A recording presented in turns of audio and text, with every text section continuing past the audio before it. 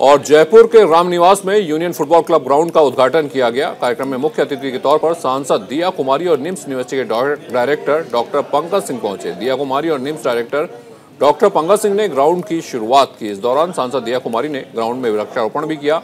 सांसद दिया कुमारी ने बताया कि उन्होंने स्पोर्ट्स को आगे बढ़ाने का हमेशा काम किया। इस दौरान सांसद ने निम्स यूनिवर्सिटी का धन्यवाद दिया और कहा कि निम्स ने हमेशा उनका सहयोग किया। कार्यक्रम में फुटबॉल से जुड़े वरिष्ठ खिलाड़ियों को सम्मानित भी किया गया। दूसरी तरफ़ निम्स यूनिवर्सिटी के डायरेक्टर पंकज सिंह ने कहा कि फुटबॉल आने वाले समय में देश का भविष्य बने, इसके लिए सभी को आगे आना पड़ेगा और खेलों को बढ़ावा देना चाहिए।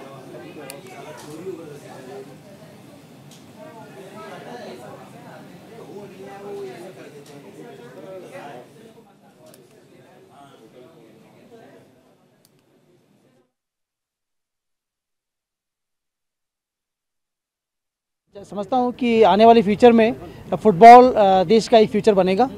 अभी इस वक्त जो है फुटबॉल जो है एक बडिंग स्टेज में है और इस स्टेज में समाज के जो जिम्मेदार नागरिक हैं, हम जैसे लोग हैं प्रिंसेस दिया कुमारी जी हैं या संरक्षक हैं भानु प्रताप सिंह जी या बाकी सभी लोग, उनको, उनके एक उत्तरदायित्व बनता है कि इसी स्टेज पे हम लोग फुटबॉल को नर्चर करें और टैलेंट को हम लोग बूस्ट करें ताकि देश में जो टैलेंट है फुटबॉल में वो आगे बढ़ सके।